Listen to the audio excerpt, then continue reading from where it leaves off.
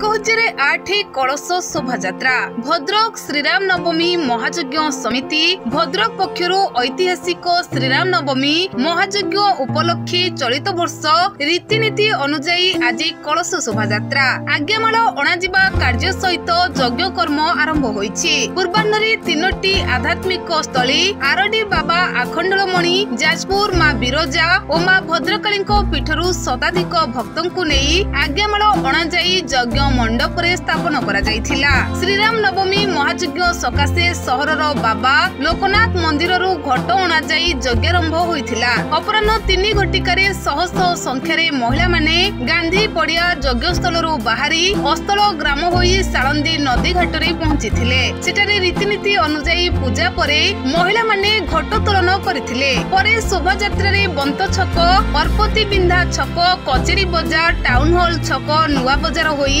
ଗାନ୍ଧୀ ପଡିଆକୁ ଫେରିଥିଲେ। ଯଜ୍ଞ ମଣ୍ଡପରେ ରୀତିନୀତି ମୁତାବକ ପୂଜା କର୍ମ ଆରମ୍ଭ କରାଯାଇଛି।